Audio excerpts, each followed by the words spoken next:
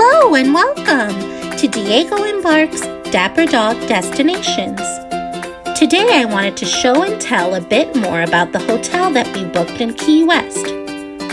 Kimpton properties across the country and world are pet friendly. The Kimpton Lighthouse was no exception.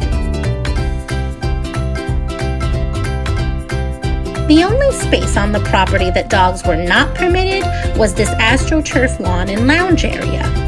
Our room was up a flight of stairs, which was a bit tough to maneuver on the first day with all our luggage. Make sure and ask for a ground floor if you think this might be a problem. Also, no dogs inside the pool.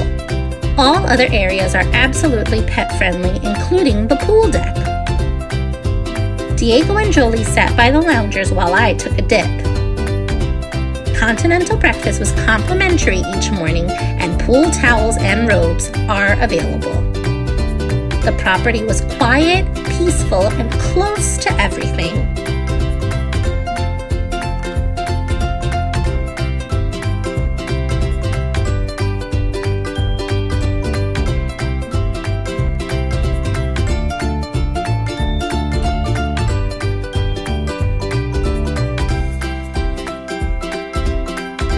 Come bark with me!